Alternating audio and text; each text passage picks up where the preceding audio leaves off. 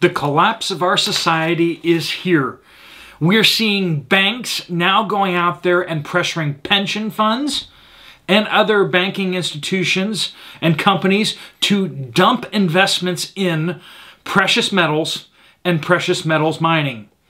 Why, you would say? Well, it's this whole ESG thing, right?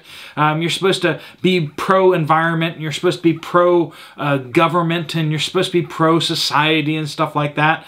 And that means you need to pretend like the fake money is the only kind of money. And any support of the precious metals uh, movement is, well, you know, racist and uh, and fascist and anti-democratic, of course. Um, so we're seeing this, and uh, just so you guys know, October 1st, that's today, um, we are seeing the Wall Street Silver raid on silver. So they're uh, suggesting everyone go and buy up as much uh, uh, physical silver as you can to kind of stick it to the man. So, you know, you can decide to do that if you want to or not. There are no links down below to any certain dealers or anything like that. I'm not doing that to make a buck or anything like that. I just think that everyone will benefit from that. Uh, you can search for the best prices out there. I like Walmart.com um, because they got some great deals through APMEX there that you can use your credit card on. Uh, you got uh, APMEX website, Silver.com, SD Bullion. JM Bullion, right? Um, a bunch of other places like that. Get it from a reputable dealer, but you can buy your own physical silver. Um, war is brewing over in Russia. That's right. As they call up 1.2 million reservists and conscripts. They said they're only going to do 300,000, but they ended up calling up 1.2 million because they need that many troops for something? What exactly are they getting ready for? Are they getting ready for World War III? Sure seems that way, folks. See, the collapse doesn't happen gradually and in a way that you can see it coming. What happens is uh, the anatomy of a collapse is you have a drop and then a recovery. But what it does is it depletes the reserves in the system.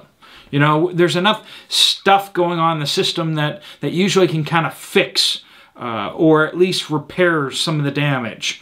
Um, you have first drop there, and when it starts to come back to normalize, um, people are going to be like, oh, well, things are fixed, things are good. But the problem is, all the reserves in the system are gone.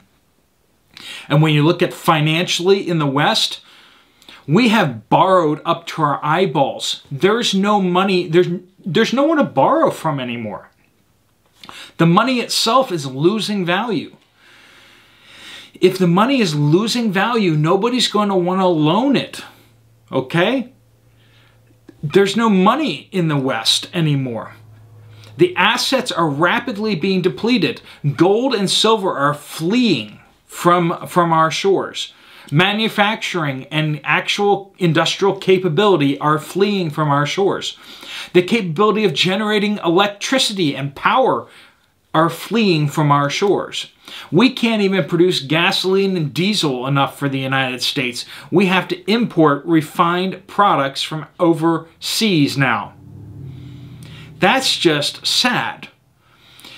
In Europe, we have multiple refineries that have been shut down by protests over in France. Basically, it's hard to find a country in the EU or in Europe that is not having massive protests. People are very, very upset. People, people's patience with their governments have gotten this. They've gone from, you know, we're upset to people are are livid, livid, ready to leave work, ready to get out there in the streets, shut down traffic, sh- shut down everything. And the Nord Stream bombing, the the crisis that's happening in Eastern Europe has got everybody extremely on edge. Nobody supports this. Not, mm, that, of course, is hyperbole. There's a whole bunch of people that support it. But the simple fact is, in most countries, Most people do not support going to war over Eastern Europe. That's just a fact. Most people in the United States, most people in most of the European countries do not support their country going to war over uh, that country over in Eastern Europe that we're not allowed to talk about because, you know, we can't talk about such things without um, the uh, algorithm deciding that nobody should watch this video. We know, we know what's going on over there. It is, it, it is a money funneling system, and, and the money's not going where it's said to be going to. Billions and billions and billions of dollars are going into this black hole and if you think that houses aren't being purchased on the Caribbean, if you think that the that the oligarchs and the powerful elite in that country are not getting extremely wealthy, if you think that 10% isn't being kicked back to the big guy, you got another thing coming. You got another thing coming. Nobody knows where these weapons are going. Nobody knows where the money is going. There is no accounting. They've admitted it. They've admitted it that there is no oversight. There is no oversight. Energy prices are going through the roof after the Nord Stream uh, bombings. Uh, uh, of course, less natural gas getting into Europe. And the fact is that they're not going to have enough energy to get through this winter, it looks like. That's, that's not good. And the simple fact is the taps cannot be turned back on because the faucet's broken. When we see what's happening over in Europe, with energy prices going through the roof, Germany is nationalizing anything that's related to energy right now. It's just like, let's find anything that's energy related, let's nationalize it. Gas pumps across France are drying up because of the strikes and the protests that are going on there. And of course, across society, not just the money, not just um, but even speech itself. You know, the list of things that you're not allowed to discuss anymore or talk about grows longer. You know, certain elements on the periodic table, can't talk about those anymore. Certain geographical regions of the world, can't talk about that. Certain people, off limits. Don't don't even say, you know, T, you know, the guy down in Florida who used to be president, don't don't even say that name because not allowed to do that. Certain amendments in documents can't can't talk about those.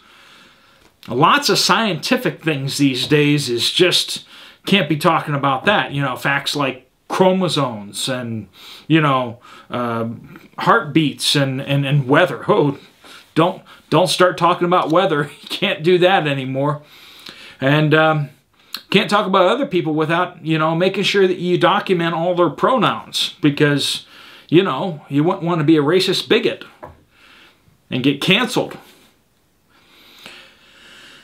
We could, we could discuss all these things in a calm, thoughtful way, but, you know, that would be, that would be racist, fascist, hate speech and anti-democratic, of course. Anti-democratic, of course. Um, cer certainly wouldn't want to interrupt people's safe spaces with facts and inconvenient truths. No, we wouldn't want to do that.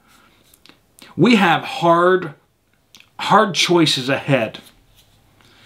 You know, when you have a, a toddler, trying to get them to understand uh, difficult difficult things, um, difficult times is very, very hard because they can't compute it, right? Hard choices. Well, I don't want either of those choices. We are uh, societies of toddlers who cannot uh, endure facts that go against their, their wishes. And the idea of power being shut off, hard times that, that you have to, to, to rise above is beyond the, the, the minds of, of many people in our societies today.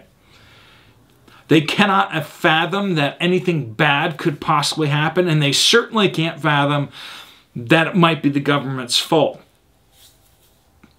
The politicians that they don't like, they can't understand how those politicians have basically sold their own nations up the river for 40 pieces of silver. That's where we are, folks. That's where we are. The society collapse that is coming is going to be economic, it's cultural. We're already seeing the cultural collapse. Uh, you, you wonder how much worse it can get. Well, it can get worse. It can get worse.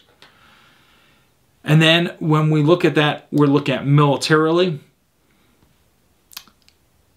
and just not just Wall Street, but we're talking about Main Street businesses, people losing their jobs, businesses going under. Across the board, we see the collapse of the food supply system, the energy system, the labor markets. The simple fact is, the more I look at the labor markets and we say, where did all these workers go? A lot of them went into the ground. That's a simple fact. Did they die of the cough cough? They didn't. We know that they're not logged as people who even had the cough cough when they perished.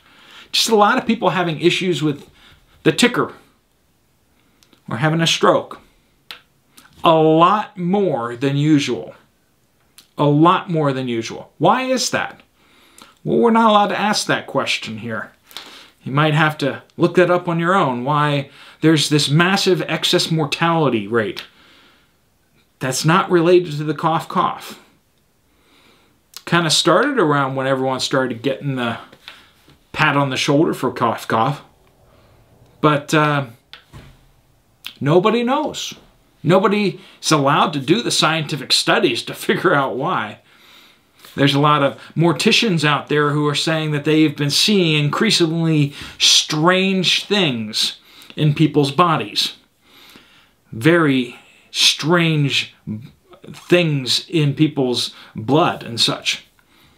You can look those things up too. We're not allowed to talk about that kind of stuff, but I'm sure there's absolutely nothing to hide whatsoever. Simple fact is that if people are on the ground, they can't be working at the store, they can't be working at the restaurant, they can't be working at the office, can they now? And that's where we find ourselves as a society around the world. Western societies all over the place cannot deal with simple facts, cannot discuss the challenges that we face together as societies. And so we face societal collapse. All right, folks, if you found this video useful, helpful, you might want to check out this other video from me right here. Otherwise, I will see you later. Steve Poplar out.